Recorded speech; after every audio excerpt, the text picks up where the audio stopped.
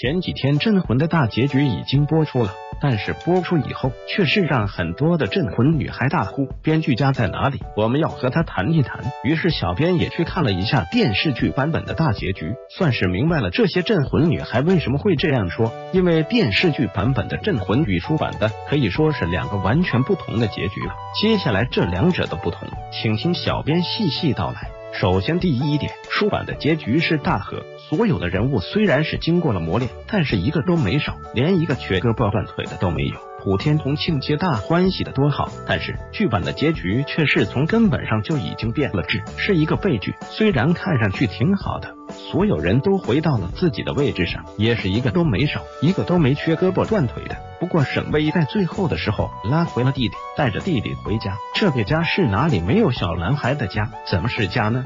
从电视剧里的情节来看，沈巍是大煞无魂之人，来自黄泉千里之下。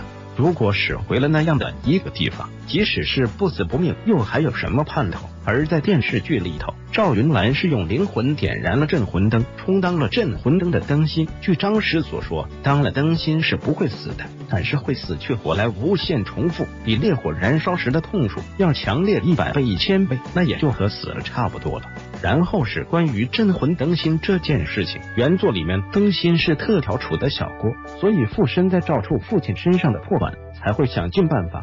将小郭弄到特调处里面，而在电视剧里面的大结局是由赵处充当了灯芯。那么小编也是搞不明白，既然是这样的话，附身在赵处父亲身上的张师原作是破案，这里改了。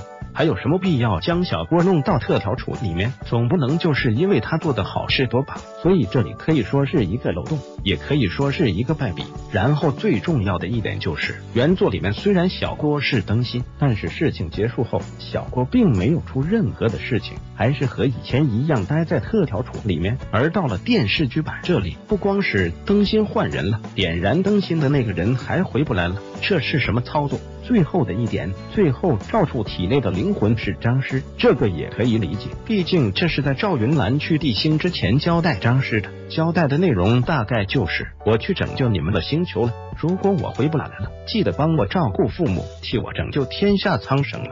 这件事情也告诉我们，千万的不要过早的交代一言。如果小编还有哪些地方没有说到，或者说的不对的地方，各位镇魂女还可以在下方纠正和改正哟。